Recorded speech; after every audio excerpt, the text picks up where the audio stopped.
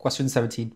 7 kilos of carrots and 5 kilos of tomatoes cost a total of 480p. Let's just translate this into an equation. I've got 7 lots of the carrots plus 5 lots of the tomatoes is equal to 480p.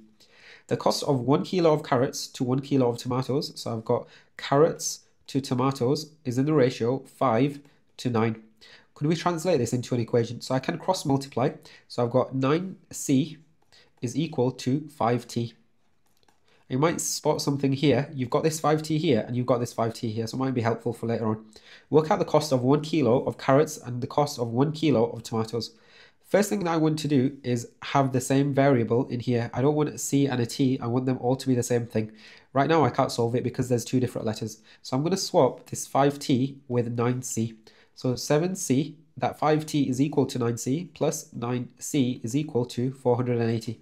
Because I've got the same letter, I can solve it. 7 lots of c plus 9 lots of c is 16c is equal to 480. If you do, you're being multiplied by 16, so I need to divide by 16 on both sides. So c is equal to, if you do your 16 times table, it's 16, 32, 48, so it's going to be 3 with 1 0. So I've now found the cost of my carrots, 30p. Going to substitute that back into my equation. I'll substitute it into here. So I've got 7 lots of c, which is 30, I've just found that out, plus 5 lots of the tomatoes, which is equal to 480. 7 times 3 is 21, so 210 plus 5t is equal to 480. t is being multiplied by 5, then we're adding 210, so take away 210 from both sides.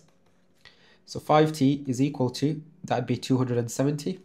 Divide multiplied by 5, so divide by 5. I'm Going to t is equal to, instead of dividing by 5, divide by 10, which is 27, and then double it, which would be 54. So t is equal to 54 and c is equal to 30. t was 54p and c is 30p. And if you substitute both of these back in into here, you would get a solution of 480.